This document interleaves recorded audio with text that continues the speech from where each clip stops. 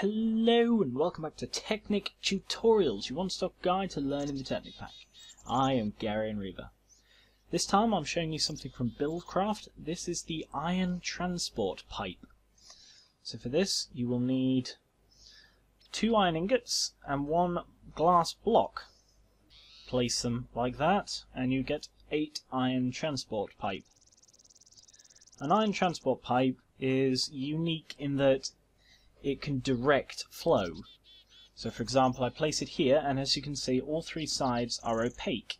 However, if you right click on it with a Buildcraft wrench, one of the sides becomes clear, and continue to right click to cycle through them. This side is the only side that will output from anything that enters it. As you can see, dirt is coming out of the right chest and cobblestone is coming out of the left. They enter the iron transport pipe and they all output through here, whereas with any other kind of pipe, it would randomly output out of any of the three. It allows you to funnel multiple inputs to a single output without having to worry about it backlogging.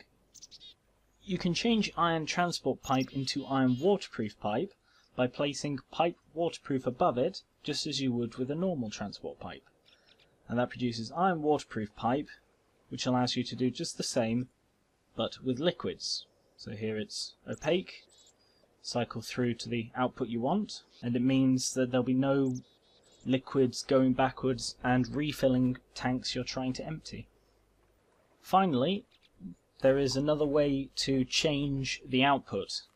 A redstone signal, every time a new one is applied, will change the output of the iron pipe, as you can see here, by flicking this, and it would work with pressure pads, or buttons or anything else.